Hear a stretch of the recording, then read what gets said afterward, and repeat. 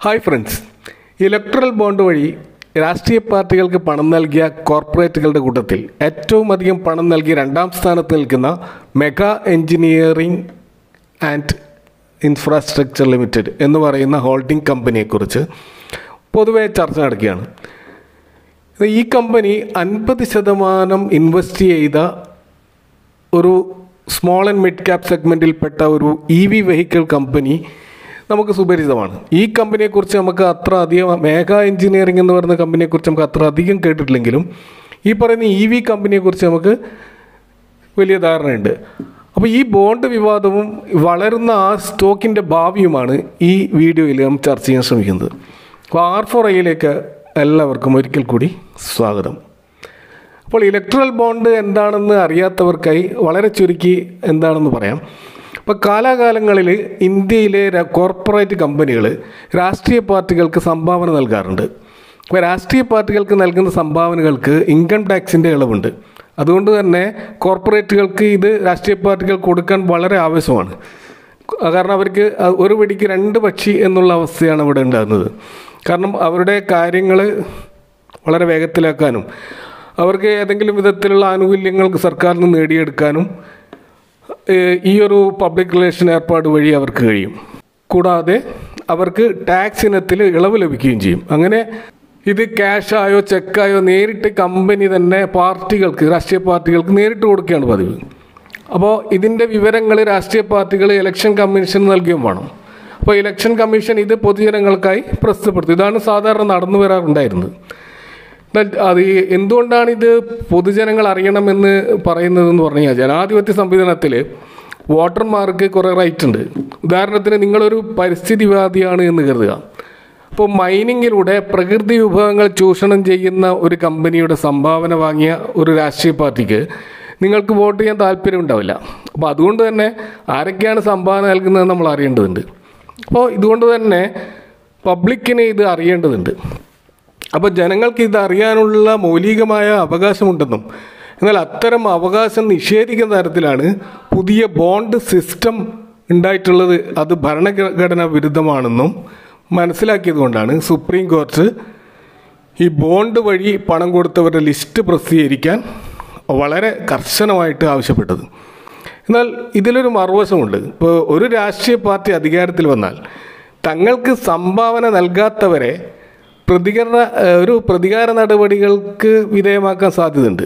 അപ്പോൾ കോർപ്പറേറ്റുകൾക്ക് ആ വിഷയത്തിൽ ഒരു ആശങ്കയുണ്ടാവും. അപ്പോൾ ഈ ആശങ്കയിൽ നിന്ന് അവരെ രക്ഷിക്കാനാണ് ഈ പുതിയ ബോണ്ട് സിസ്റ്റത്തിലൂടെ ലക്ഷ്യമാക്കുന്നതെന്നാണ് പൊതുവെ പറയുന്ന ഒരു ന്യായീകരണം. എന്നാൽ ഇപ്പോഴത്തെ ഒരു സിസ്റ്റം പ്രകാരം അത് എങ്ങനെയാണ് നടക്കുന്നതെന്ന് വെച്ചാൽ നിങ്ങൾ ഒരു രാഷ്ട്രീയ പാർട്ടിക്ക് ഒരു ഇരുപതിനായിരത്തിൽ കൂടുതൽ പണം സംഭാവന നൽകാൻ ആഗ്രഹിക്കുന്നുവെങ്കിൽ നിങ്ങൾക്കത് ക്യാഷായിട്ടോ ചെക്കായിട്ടോ നൽകാൻ കഴിയില്ല. അവിടെ നിങ്ങൾ സ്റ്റേറ്റ് ബാങ്ക് ഓഫ് ഇന്ത്യയിൽ സ്റ്റേറ്റ് ബാങ്ക് ബാങ്ക് ഓഫ് ഇന്ത്യയ്ക്ക് മാത്രമാണ് ഇപ്പോൾ ഈ ബോണ്ട് ഇഷ്യൂ ചെയ്യാനുള്ള അധികാരം കൊടുത്തുള്ളത് അപ്പോൾ ഇരുപതിനായിരത്തിൽ കൂടുതൽ കൊടുക്കാൻ ആഗ്രഹിക്കുന്നുവെങ്കിൽ സ്റ്റേറ്റ് ബാങ്ക് ഓഫ് ഇന്ത്യയുടെ ബ്രാഞ്ചിൽ പോയിട്ട് അവിടെ ഈ പറയുന്ന എത്ര രൂപയാണോ നിങ്ങൾ കൊടുക്കുക ഒരു കോടി രൂപയാണ് നിങ്ങൾ സംഭാവന ചെയ്യാൻ ഉദ്ദേശിക്കുന്നതെങ്കിൽ ആ ഒരു കോടി രൂപയുടെ ബോണ്ടിന്റെ ഒരു സർട്ടിഫിക്കറ്റ് നിങ്ങൾക്ക് സ്റ്റേറ്റ് ബാങ്ക് തരും. നിങ്ങൾ പണം അടക്കുന്നത് സ്റ്റേറ്റ് ബാങ്കിലാണ് അവർ നിങ്ങൾക്ക് ബോണ്ട് നൽകും. ഈ ബോണ്ടിന് ഒരു കാലാവധിയുണ്ട്. അപ്പോൾ ആ കാലാവധിക്കുള്ളിൽ അത് റെഡീം ചെയ്യണം. അപ്പോൾ നിങ്ങൾ ആർക്കാണോ ആ ബോണ്ട് കൊടുക്കുന്നത് അവർ വന്നിട്ട് ആ ബോണ്ട് റെഡീം ചെയ്യാം. അപ്പോൾ ഈ ഇഷ്യൂ ചെയ്യുന്ന ഈ ബോണ്ട് സർട്ടിഫിക്കറ്റിൽ ഒരു ഐ ഡി നമ്പർ ഉണ്ടായിരിക്കും. ഈ ഐ ഡി നമ്പറാണ് നമ്പർ വെച്ച ഈ സർട്ടിഫിക്കറ്റാണ് നിങ്ങൾ രാഷ്ട്രീയ പാർട്ടിക്ക് കൊടുക്കുന്നത്. അപ്പോൾ രാഷ്ട്രീയ പാർട്ടി ഇത് ബാങ്കിൽ പോയി റെഡീം ചെയ്യും. ഈ നമ്പർ ആർക്കാണോ ഇഷ്യൂ ചെയ്തത് എന്ന് എസ് ബി ഐയുടെ സിസ്റ്റത്തിലുണ്ടാവും അതുപോലെ ഇത് ഏത് രാഷ്ട്രീയ പാർട്ടി വന്നിട്ടാണ് വിഡ്രോ ചെയ്തത് എന്നും എസ് ബി ഐയുടെ സിസ്റ്റത്തിലുണ്ടാവും അപ്പോൾ ഇത് മനസ്സിലാക്കാനുള്ള ഒരേ ഒരു മാർഗം എന്ന് പറയുന്നത് ഈ ഐ ഡി നമ്പറാണ് അപ്പോൾ ഏത് പാർട്ടിക്കാണ് പണം കൊടുത്തതെന്നും ആരാണ് കൊടുത്തതെന്നും അറിയാനുള്ള ഏക മാർഗം ഈ ഐ ഡി നമ്പറാണ് അപ്പോൾ കഴിഞ്ഞ ദിവസം എസ് ബി ഐ സമർപ്പിച്ച ലിസ്റ്റിൽ ഈ ഐ ഡി നമ്പർ ഇല്ല എന്ന് ചൂണ്ടിക്കാട്ടിയാണ് സുപ്രീം കോടതി സ്റ്റേറ്റ് ബാങ്ക് ഓഫ് ഇന്ത്യയെ ശാസിച്ചത്. സ്റ്റേറ്റ് ബാങ്ക് ഓഫ് ഇന്ത്യ ഇപ്പോൾ ആർക്കൊക്കെയാണ് ബോണ്ട് അവർ നൽകിയത് എന്ന് മാത്രമാണ് പുറത്തുവിട്ടത്. ആ ബോണ്ട് റെഡീം ചെയ്തത് ആരൊക്കെയാണ് എന്നുള്ളത് പുറത്തുവിട്ടിട്ടില്ല. അപ്പോൾ ആരൊക്കെയാണ് വാങ്ങിയത് എന്ന ലിസ്റ്റിൽ Megha engineering and infrastructure limited എന്ന് പറയുന്ന ഒരു കമ്പനിയുണ്ട് അവർ ഏകദേശം തൊള്ളായിരം കോടിക്കടുത്ത് ബോണ്ടുകൾ വാങ്ങിയിട്ടുണ്ടെന്നാണ് കണക്കുകൾ സൂചിപ്പിക്കുന്നത്. അപ്പോൾ ആരാണ് ഈ മേഘ എഞ്ചിനീയറിംഗ് എന്നാണ് നമ്മൾ നോക്കുന്നത്. ഇതൊരു അൺലിസ്റ്റഡ് കമ്പനിയാണ് ഈ കമ്പനി സ്റ്റോക്ക് മാർക്കറ്റ് ലിസ്റ്റ് ചെയ്തിട്ടില്ല. അതുകൊണ്ട് തന്നെ നമുക്ക് ഈ സ്റ്റോക്ക് ഈ കമ്പനിയെക്കുറിച്ച് വലിയ ഒരു അറിവുണ്ടാകണമെന്നില്ല. ഇതൊരു ഹൈദരാബാദ് ബേസ്ഡ് ആയിട്ടുള്ള ഒരു കമ്പനിയാണ് ഒരു കർഷക ഫാമിലി ആയിട്ടുള്ള അവിടെ നിന്നും വന്ന പമീറ റെഡ്ഡി അതുപോലെ പിച്ചി റെഡ്ഡി എന്ന് പറയുന്ന രണ്ട് പേർ ചേർന്ന് ആയിരത്തി തൊള്ളായിരത്തി എൺപത്തി ഒമ്പതിൽ രൂപം കൊടുത്ത കമ്പനിയാണിത് അന്ന് ഈ കമ്പനിയുടെ പേര് മേഘ എഞ്ചിനീയറിംഗ് എന്റർപ്രൈസസ് എന്നായിരുന്നു. ഇപ്പോൾ മുനിസിപ്പാലിറ്റികൾക്ക് വേണ്ടി പൈപ്പ് നിർമ്മിക്കലായിരുന്നു ഇവരുടെ ജോലി. എന്നാൽ രണ്ടായിരത്തി ആറായതോടുകൂടി ഇവർ കുറച്ചുകൂടി വളർന്ന് ഡാമുകളും ഗ്യാസ് ഡിസ്ട്രിബ്യൂ ഡിസ്ട്രിബ്യൂഷൻ നെറ്റ്വർക്കുകളും പവർ പ്ലാന്റുകളും റോഡുകളൊക്കെ നിർമ്മിക്കുന്ന വലിയ ഇൻഫ്രാസ്ട്രക്ചർ പ്രൊജക്റ്റുകളൊക്കെ ഏറ്റെടുത്ത് നടത്തുന്ന കമ്പനി എന്നുള്ള രീതിയിലേക്ക് മാറി. അങ്ങനെ അത് ഗവൺമെന്റിന്റെ പല പ്രസ്റ്റീജിയസ് ആയിട്ടുള്ള പ്രൊജക്റ്റുകളും വാങ്ങിക്കാൻ കൽപ്പുള്ള രീതിയിൽ അത് വളർന്നു. അപ്പോൾ കമ്പനിയുടെ പേര് മെഗാ എഞ്ചിനീയറിംഗ് ആൻഡ് ഇൻഫ്രാസ്ട്രക്ചർ എന്ന് മാറ്റി. ആദ്യം എന്റർപ്രൈസസ് എന്നായിരുന്നു. അത് mega engineering and infrastructure limited എന്ന് മാറ്റി.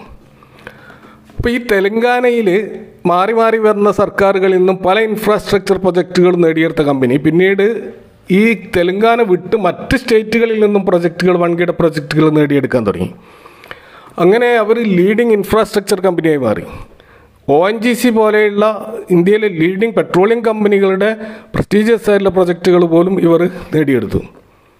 കൂടാതെ ലഡാക്കിലുള്ള ടണൽ ഫേമസ് ആയിട്ടുള്ള ആ ടണൽ നിർമ്മിക്കാനുള്ള റൈറ്റ് അങ്ങനെ വലിയ വലിയ പ്രൊജക്റ്റുകൾ ഇവർ നേടിയിട്ടുണ്ട്. അപ്പോൾ രണ്ടായിരത്തി പതിനെട്ടിൽ ഈ മേഘ എഞ്ചിനീയറിംഗ് ഒലക്ട്ര ഇൻഫ്രാട്രക്കിന്റെ അൻപത് ശതമാനം ഓഹരികൾ വാങ്ങിക്കൂട്ടിയതോടെയാണ് ഒലക്ട്ര ഗ്രീൻ ടെക് എന്ന് പറയുന്ന കമ്പനിയുടെ നക്ഷത്രം ഉദിച്ചത്. അപ്പോൾ ഇവിടെയാണ് ഈ ഒലക്ട്ര ഗ്രീൻ ടെക് എന്ന് പറയുന്ന കമ്പനി വരുന്നത്. ഒലക്ട്ര ഗ്രീൻ ടെക് എന്ന കമ്പനി പണ്ട് അറിയപ്പെട്ടിരുന്നത് ഗോൾഡ് സ്റ്റോൺ ഇൻഫ്രാടെക് ലിമിറ്റഡ് എന്നായിരുന്നു.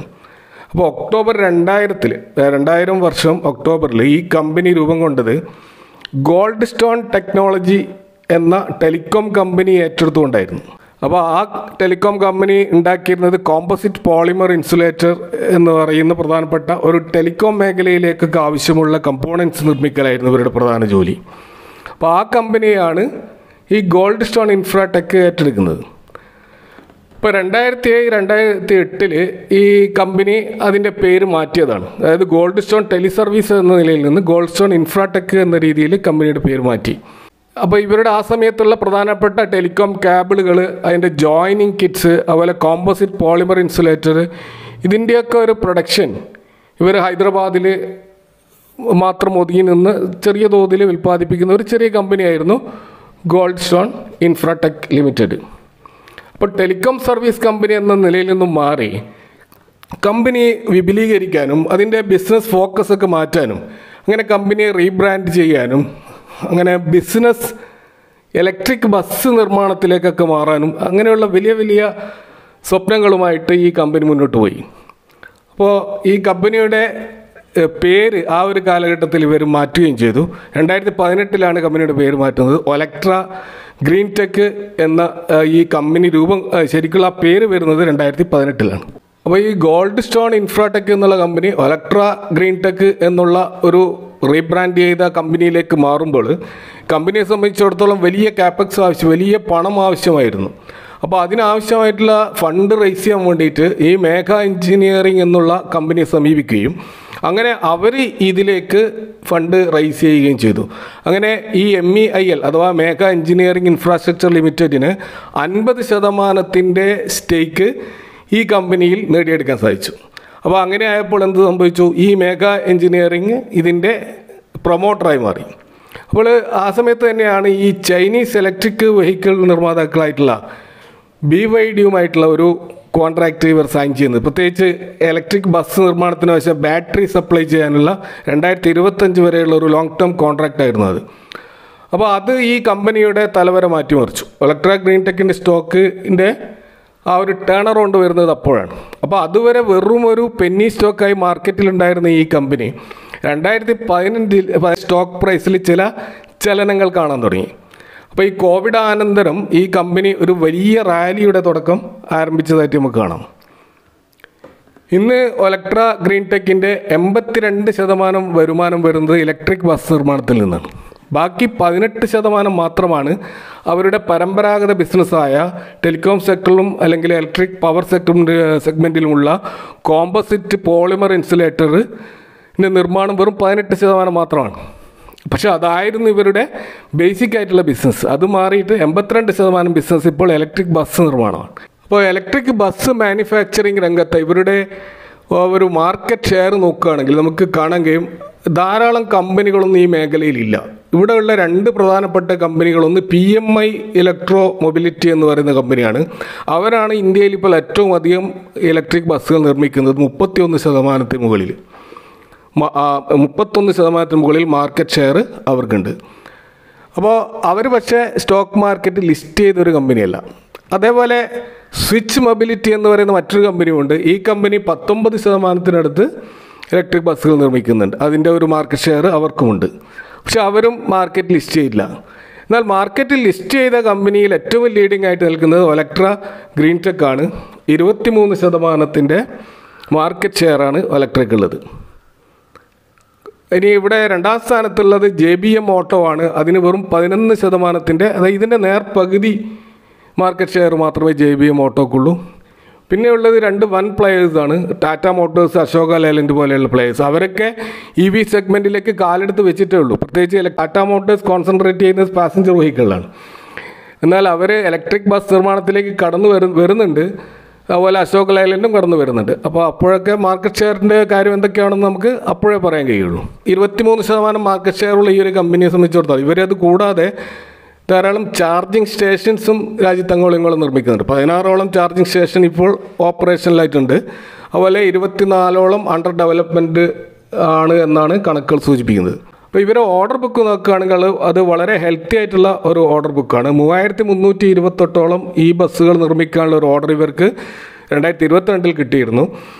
അത് ഒരു പന്ത്രണ്ട് പതിനഞ്ച് മാസത്തിനുള്ളിൽ അവരത് നിർമ്മിച്ച് നൽകുകയും ഉണ്ടായി. ഏകദേശം മൂവായിരത്തി അറുന്നൂറ്റി എഴുപത്തഞ്ച് കോടിയുടെ ഒരു ഓർഡർ ഇവർക്ക് ബെസ്റ്റ് മഹാരാഷ്ട്രയിലുള്ള ബെസ്റ്റ് എന്ന electric supply and transport undertaking എന്ന് പറയുന്ന മഹാരാഷ്ട്രയിലെ ലീഡിംഗ് ബസ് ട്രാൻസ്പോർട്ട് കമ്പനിക്ക് ഇവർ നിർമ്മിച്ച് നൽകിയിട്ടുണ്ട്.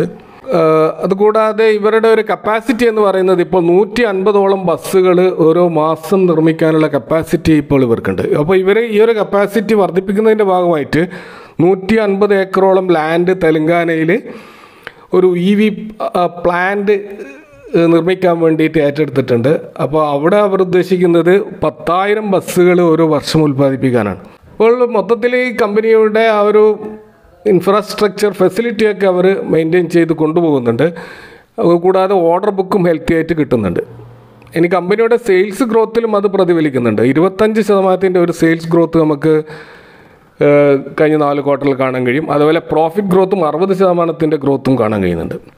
രണ്ടായിരത്തി ഇരുപത്തൊന്നിൽ വെറും ഇരുപത്തൊന്ന് കോടിയുടെ സെയിൽസ് ഉണ്ടായിരുന്ന കമ്പനി ഇപ്പോൾ ആയിരത്തി ഇരുന്നൂറ് കോടിയുടെ സെയിൽസിലേക്കാണ് വളർന്നിട്ടുള്ളത്. അതുകൂടാതെ ഇവരുടെ പ്രോഫിറ്റ് നോക്കുകയാണെങ്കിൽ നെറ്റ് പ്രോഫിറ്റ് എട്ട് കോടിയിൽ നിന്ന് തൊണ്ണൂറ്റൊന്ന് കോടിയായിട്ടും വളർന്നിട്ടുണ്ട്. ഇനി ക്വാർട്ടർലി വൈസ് റിസൾട്ട് നോക്കിയാലും ഇയർ ഓൺ ഇയറിലായാലും ക്വാർട്ടർ ഓൺ ക്വാർട്ടറിലായാലും ആ ഗ്രോത്ത് വളരെ പ്രകടമാണ്. ഇപ്പോൾ year on year sales growth മുപ്പത്തി മൂന്ന് ശതമാനവും പ്രോഫിറ്റ് ഗ്രോത്ത് എൺപത്തേഴ് ശതമാനവും നമുക്കിവിടെ കാണാൻ കഴിയും. ഈ സ്റ്റോക്കിന്റെ സ്റ്റോക്ക് പ്രൈസിലുണ്ടായ വളർച്ചയും വളരെ അത്ഭുതകരമാണ്. കഴിഞ്ഞ അഞ്ച് വർഷം ഇൻവെസ്റ്റേഴ്സിന് നൽകിയ റിട്ടേൺ അഞ്ഞൂറ്റി അറുപത്തി ആറ് ശതമാനമാണ്. അതായത് ഒരു ലക്ഷം രൂപ കഴിഞ്ഞ അഞ്ച് വർഷം മുമ്പേ ഇതിൽ ഇൻവെസ്റ്റ് ചെയ്ത ഒരാൾക്ക് അത് അഞ്ച് ലക്ഷം രൂപയായിട്ട് വളർന്നിട്ടുണ്ടാവും. അപ്പോൾ അതൊരു മാസീവായിട്ടുള്ള റിട്ടേൺ ആണ്. ഇപ്പം അതുപോലെ കഴിഞ്ഞ ഒരു വർഷം മാത്രം നോക്കുകയാണെങ്കിൽ നൂറ്റി എഴുപത്തി ഏഴ് ശതമാനത്തിന്റെ വമ്പർ റിട്ടേൺ ആണ്. ഒരു വർഷം കൊണ്ട് ഡബിൾ മാത്രമല്ല ഏകദേശം രണ്ടരട്ടിയോളമാണ് വളർന്നിട്ടുള്ളത്. അപ്പോൾ ആറ് റിട്ടേൺ നാൽപ്പത്തി ഒന്ന് ശതമാനം. അപ്പോൾ ഈ ആ ഒരു വർഷം കഴിഞ്ഞിട്ട് പിന്നീട് വരുന്ന റിട്ടേണുകൾ കുറഞ്ഞതായിട്ട് നമുക്ക് കാണാൻ കഴിയും. ഈ ആറ് മാസം നാൽപ്പത്തി ഒന്ന് ശതമാനം റിട്ടേൺ മാത്രമേ നൽകിയിട്ടുള്ളൂ. അതുപോലെ കഴിഞ്ഞ ഒരു മാസം ഈ സ്റ്റോക്ക് പ്രൈസ് റിട്ടേൺ പതിനേഴ് ശതമാനമാണ്. ഇത് നോട്ട് ചെയ്യേണ്ട ഒരു കാര്യമാണ്. അതായത് അവിടെ ശരിക്കും ഒരു ഡീ ഗ്രോത്ത് നടക്കുന്നുണ്ട് എന്നാണ്. പ്രൈസിൽ ഒരു ഡിക്ലൈൻ വരുന്നുണ്ട്. ആ ഒരു ഗ്രോത്തിന്റെ മൊമെന്റം കുറഞ്ഞതായിട്ട് നമുക്ക് കാണാൻ കഴിയും. അതുപോലെ അഞ്ച് ദിവസത്തെ റിട്ടേൺ നോക്ക്. കഴിഞ്ഞ അഞ്ച് വർഷത്തിൽ നമുക്കറിയാം സ്മോൾ ക്യാപ്പിൽ ഉണ്ടായിട്ടുള്ള സ്മോൾ മിഡ് ക്യാപ് സെഗ്മെന്റിൽ ഉണ്ടായിട്ടുള്ള തകർച്ച അതുപോലെ ഈ ബോണ്ട് വിവാദങ്ങൾ ഇതൊക്കെ കാരണം അതിൽ ആറ് ശതമാനത്തിന്റെ ഇടിവ് നമുക്ക് ഈ സ്റ്റോക്കിൽ കാണാൻ കഴിയും. എന്നാൽ കഴിഞ്ഞ ഈ ബോണ്ടിന്റെ ലിസ്റ്റ് പുറത്ത് വന്ന ദിവസം ഇവരുടെ ഒരു കറക്ഷൻ എന്ന് പറയുന്നത് വെറും വൺ പോയിന്റ് എയ്റ്റ് നയൻ മാത്രമാണ്. അതായത് ഈ മേഘ എഞ്ചിനീയറിംഗ് ഈ ലിസ്റ്റിൽ വന്നു എന്നറിഞ്ഞിട്ടും അത്തരം ഒരു എഫക്റ്റ് ഈ സ്റ്റോക്കിൽ ഉണ്ടായിട്ടില്ല. അപ്പോൾ അതൊരു പോസിറ്റീവ് ആയിട്ടുള്ള ഒരു കാര്യമാണ് അതിന്റെ മാനേജ്മെന്റിനെ വിശ്വസിക്കുന്നു എന്നുള്ളതിന്റെ ഒരു തെളിവാണത്. കൂടാതെ ഈ കമ്പനിയുടെ നമ്മൾ മറ്റൊരു പ്രധാനപ്പെട്ട കാര്യം നോക്കേണ്ടത് വലിയ ക്യാപെക്സ് ഇവർ അനൗൺസ് ചെയ്തിട്ടുണ്ടെങ്കിലും ഈ കമ്പനിയുടെ ഡെപ്റ്റ് to equity ratio zero point one five percentage മാത്രമാണ്. അപ്പോൾ അത് ഒരു കടബാധ്യത ഉള്ള ഒരു കമ്പനിയല്ല നമുക്കിത്. അതൊരു വലിയൊരു പോസിറ്റീവായിട്ടുള്ളൊരു കാര്യം കൂടിയാണ്. കാരണം വലിയ തോതിൽ ഇൻഫ്രാസ്ട്രക്ചർ ആവശ്യമുള്ള പ്രത്യേകിച്ച് പുതിയ മേഖലയിലേക്ക് ഇവർ ഇറങ്ങിയിരിക്കുന്ന ഒരു മേഖലയായതുകൊണ്ട് തന്നെ വലിയ തോതിലെ കടം ആവശ്യമുണ്ട് പക്ഷേ അവർ അതിനു വേണ്ടിയിട്ട് അവരുടെ സ്റ്റേക്ക് വിൽക്കുകയാണ് ചെയ്തിട്ടുള്ളത്. അല്ലാതെ അവർ കടം എടുത്തിട്ടില്ല എന്നാണ് നമുക്ക് ഇവിടുന്ന് മനസ്സിലാക്കാൻ കഴിയുന്നത്. ഇനി ഈ സ്റ്റോക്കുമായി ബന്ധപ്പെട്ട ചില റിസ്ക് ഫാക്ടറുകളുണ്ട്. അത് നോക്കുകയാണെങ്കിൽ ഏറ്റവും വലിയ റിസ്ക് എന്ന് പറയുന്നത് അതിന്റെ പി റേഷ്യോ ആണ്. നൂറ്റി അൻപത്തി ഒമ്പത് എന്നൊരു മാസീവ് പി ആണ് നമുക്ക് കാണാൻ കഴിയുന്നത്. അപ്പോൾ ഇൻവെസ്റ്റേഴ്സിന്റെ എക്സ്പെക്റ്റേഷൻ ഈ സ്റ്റോക്കിൽ വളരെ ഹൈ ആണ്. എന്നാൽ ഈ ഡൊമസ്റ്റിക് ഇൻവെസ്റ്റേഴ്സ് പ്രത്യേകിച്ച് ബിഗ് ഇൻവെസ്റ്റേഴ്സ് ആയിട്ടുള്ള മ്യൂച്വൽ ഫണ്ട് ഹൗസുകളൊന്നും ഈ സ്റ്റോക്കിൽ ഹോൾഡിംഗ് കാര്യമായിട്ടില്ല. അത് ഒരു ശതമാനത്തിൽ താഴെയാണെന്ന് അറിയുമ്പോൾ അവിടെ നമുക്ക് ചില സംശയങ്ങൾ ഉണ്ടാകുന്നുണ്ട്. കാരണം അത് ഒരുപക്ഷെ ഇത്രയധികം ഹൈ പി ആയതുകൊണ്ടായിരിക്കാം മ്യൂച്വൽ ഫണ്ട് ഇൻവെസ്റ്റേഴ്സ് ആ ഭാഗത്തേക്ക് തിരിഞ്ഞു നോക്കാത്തത്. എന്നാൽ റീറ്റെയിൽ ഇൻവെസ്റ്റേഴ്സ് പ്രത്യേകിച്ച് പബ്ലിക് ഇനി നാൽപ്പത്തി രണ്ട് ശതമാനം സ്റ്റേക്കാണ് ഇതിലുള്ളത്. അപ്പോൾ ഭാവിയിൽ ഈ സ്റ്റോക്കിൽ എന്തെങ്കിലും ഒരു നെഗറ്റീവ് ന്യൂസ് വന്നാൽ വലിയ തോതിലുള്ള ഒരു വളറ്റിലിറ്റി ഈ സ്റ്റോക്കിൽ നമുക്ക് കാണേണ്ടി വരും. പബ്ലിക് വലിയ തോതിൽ ഹോൾഡിങ്ങുള്ള കമ്പനികളുടെ അവസ്ഥ അങ്ങനെയാണ്. ഇനി മറ്റൊരു കാര്യം ഈ സ്റ്റോക്കിൽ ഒരു കൺസേൺ ആയിട്ട് തോന്നുന്നത് ഇതിന്റെ പ്രോഫിറ്റബിലിറ്റി റേഷ്യോസ് ആണ്. ആർ ഒ സി പതിമൂന്ന് പോയിന്റ് മൂന്ന് ശതമാനവും R O E eight point one one പെർസെന്റേജും മാത്രമാണ്. അപ്പോൾ ഇത്രയധികം ഗ്രോത്ത് ഒക്കെ രേഖപ്പെടുത്തുന്ന ഒരു കമ്പനിയുടെ R O C R O E ഇത് പോരാ. അതൊരു പതിനഞ്ച് ശതമാനത്തിന് മുകളിലെങ്കിലും ആവേണ്ടതാണ്. അപ്പോൾ അതിവിടെ കാണുന്നില്ല എന്നുള്ളതും ഒരു പ്രധാനപ്പെട്ട ഒരു കൺസേൺ ആണ്. കൂടാതെ ഈ കമ്പനിയുടെ ചില ന്യൂസുകൾ പരിശോധിക്കുമ്പോൾ ഇവർ ഒരു ബസ് ഈ പറയുന്ന ഇലക്ട്രിക് ബസ് സപ്ലൈ ഡിലേ ചെയ്തതിന്റെ പേരിൽ ഫൈനൊക്കെ വാങ്ങിയിട്ടുള്ള കമ്പനിയാണ് അതുകൊണ്ട് ഇവരുടെ ഈ കാപ്പക്സ് എക്സ്പാൻഷൻ അല്ലെങ്കിൽ ഇവരുടെ ഈ പ്ലാന്റുകളുടെ എക്സ്പാൻഷൻ സ്പീഡായിട്ടില്ലെങ്കിൽ ഇവർക്ക് പല പുതിയ കോൺട്രാക്റ്റുകളും കിട്ടാനുള്ള ആ ഒരു സാഹചര്യം കുറഞ്ഞു വരാനുള്ള സാധ്യത സാധ്യത ഉണ്ട് എന്നുള്ളതും കൂടി ഒരു പ്രധാന ഘടകമാണ്. കാരണം ടാറ്റ മോട്ടേഴ്സ് അശോക ലേലന്റ് പോലെയുള്ള വലിയ പ്ലാന്റുകൾ അവൈലബിൾ ആയിട്ടുള്ള കമ്പനികൾ അവിടെ മത്സരത്തിന് റെഡിയായി നിൽക്കുകയാണ്. അപ്പോൾ ആ ഒരു അവസ്ഥയിൽ ഇവരുടെ ആ ഒരു എക്സ്പാൻഷൻ സ്പീഡായിട്ടില്ലെങ്കിൽ ഇവരുടെ ഓർഡറിൽ ഒരു ഡിക്ലൈൻ ഉണ്ടാവാനുള്ള സാധ്യതയും നമ്മൾ കാണേണ്ടതുണ്ട്. ഇനി ഈ കമ്പനിയുടെ ഒരു കോൺസെൻട്രേഷൻ റിസ്ക് എന്ന് ഇപ്പോൾ കാണാൻ കഴിയുന്നത് രണ്ടോ മൂന്നോ കസ്റ്റമേഴ്സ് മാത്രമാണ് ഇവരുടെ പ്രധാന കസ്റ്റമേഴ്സ് ഇപ്പോൾ ഗവൺമെന്റ് സെക്ടറിൽ തന്നെയുള്ള രണ്ടോ മൂന്നോ കസ്റ്റമേഴ്സാണ് അതായത് അൻപത് ശതമാനം ഇവരുടെ റവന്യൂ വരുന്നത് ഈ രണ്ടോ മൂന്നോ കസ്റ്റമേഴ്സിൽ നിന്നാണ്. അപ്പോൾ നിങ്ങൾ ആലോചിച്ച് നോക്കുക ആ രണ്ടോ ഇപ്പോൾ ഞാൻ നേരത്തെ പറഞ്ഞ ബെസ്റ്റ് ഇപ്പോൾ മഹാരാഷ്ട്ര ബെസ്റ്റ് അവർ ഈ കോൺട്രാക്റ്റിൽ പിന്മാറിയാൽ ഈ കമ്പനിയെ സംബന്ധിച്ചാൽ വലിയ ലോസ് ആയിരിക്കും. അതുകൊണ്ട് ഈ കോൺസെൻട്രേഷൻ റിസ്ക് വലിയൊരു ഘടകമാണ്. അത് ഇത് ഇവരിത് ഡൈവേഴ്സിഫൈ ചെയ്തിട്ടുണ്ട്. പല സ്റ്റേറ്റ് ഗവൺമെന്റുകളുമായിട്ടും മറ്റ് പ്രൈവറ്റ് കമ്പനികളുമായിട്ടൊക്കെയുള്ള വലിയ തോതിലുള്ള ഓർഡർ ബുക്ക് ഇവർ ഡെവലപ്പ് ചെയ്തിട്ടില്ലെങ്കിൽ കമ്പനിക്ക് ഒരു ഭാവിയിലുള്ള ഓർഡറിൽ വലിയ റിസ്ക് വരാനുള്ള സാധ്യതയുണ്ട്. മറ്റൊരു കാര്യമുള്ളത് ഈ കമ്പനിയുടെ ടെക്നോളജി പാർട്ട്ണർഷിപ്പ് അഗ്രിമെന്റ് ഈ ചൈനീസ് കമ്പനിയുമായിട്ടാണ് ബി വൈ ഡി എന്ന് പറയുന്ന ചൈനീസ് കമ്പനിയുമായിട്ടാണ് അപ്പോൾ അത് രണ്ടായിരത്തി ഇരുപത്തഞ്ച് വരെ മാത്രമാണ് ഉള്ളത് സപ്ലൈ ഓഫ് ബാറ്ററി അപ്പോൾ നമുക്കറിയാം ചൈനീസ് കമ്പനികൾ ഇന്ത്യയെ സംബന്ധിച്ചിടത്തോളം നമ്മളൊരു അലൈൻ കൺട്രി ആയിട്ടാണ് ചൈനയെ കണക്കാക്കുന്നത്. അതുകൊണ്ട് തന്നെ ഗവൺമെന്റിന്റെ ചില ഡിസിഷൻസ് ഈ കമ്പനിയിൽ നെഗറ്റീവായിട്ട് ബാധിക്കാനുള്ള സാധ്യതയുണ്ട്. അപ്പോൾ അതും ഒരു റിസ്ക് ഫാക്ടറാണ് മറ്റൊന്ന് ഈ മേഘ എഞ്ചിനീയേഴ്സിന്റെ പൊളിറ്റിക്കൽ കണക്ഷൻസ് ആണ്. കാരണം ഇവർക്ക് പല സ്റ്റേറ്റുകളിലും ഇതിന്റെ പ്രൊമോട്ടറായിട്ടോ ഇലക്ട്ര ഗ്രീൻ ടെക്കിന്റെ പ്രൊമോട്ടറായിട്ടുള്ള മേഘ എഞ്ചിനീയേഴ്സിന്റെ പൊളിറ്റിക്കൽ കണക്ഷൻസ് പല സ്റ്റേറ്റ് ഗവൺമെന്റുകളുമായിട്ടുണ്ട് അതേപോലെ കേന്ദ്ര ഗവൺമെന്റുകളായിട്ടുണ്ടാകാം അപ്പോൾ ഈ ഇവിടെ സംഭവിക്കാൻ പോകുന്നത് നമുക്കറിയാം എലക്ഷൻ റിസൾട്ടുകൾ സ്റ്റോക്ക് മാർക്കറ്റ് പോലെയാണ്. നമുക്കൊരിക്കലും മുൻകൂട്ടി പ്രവചിക്കാൻ കഴിയില്ല.